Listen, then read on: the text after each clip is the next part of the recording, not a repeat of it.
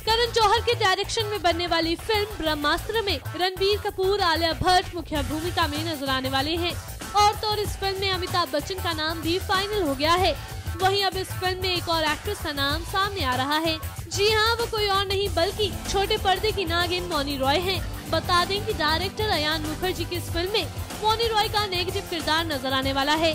वो फ़िल्म में एक ऐसी विलन का किरदार निभा रही है, जिसे देखकर अच्छे अच्छों के पसीने छूट जाएँगे।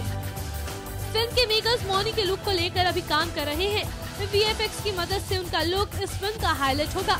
जिस तरीके से मौनी ने नागिन बनकर सबको एंटरटेन किया, अब उन्हें नेगेटिव रोल में देखना वाकई दिलचस्प होने वाला है। वेल मौनी इस फ़िल्म के अलावा अक्षय की फ़िल्म गोल्ड में भी नज़र आने वाली है। इस फ़िल्म में वो अक्षय की वाइफ का रोल निभाएँगी। आप मौनी की इन दोनों ही फ़िल्मों को देखने के लिए कितने एक्साइटेड हैं, हमें कमेंट करके बताना मत भूलेगा और बॉलीवुड से जुड़ी खबरों के लिए देखते रहिए मिर्ची बॉलीवुड